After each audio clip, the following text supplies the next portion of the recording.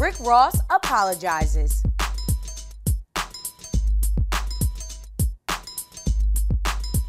Previously, Rick Ross has been in the hot seat for phrases like put a molly all in her champagne, she ain't know it, which caused him to lose major endorsement deals. In a recent interview with The Breakfast Club, now has Ross issuing an apology.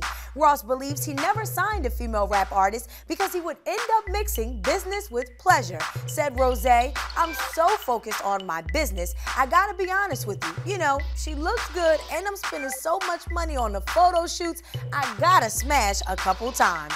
Well, after the internet caught wind of his word, they blasted the Miami native. Ross issued a statement saying, My comment is no reflection of my beliefs on the issue. A mistake I regret. He continues, I hope to use my mistake, my platform, and the community to create positive discussion to implement change on a very important issue. Respect for the ones who stand up and say, hey, that's not right.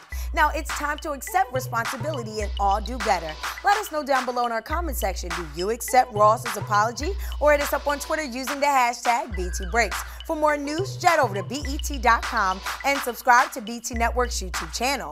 I am Jamila Mustafa, and this is BET Breaks.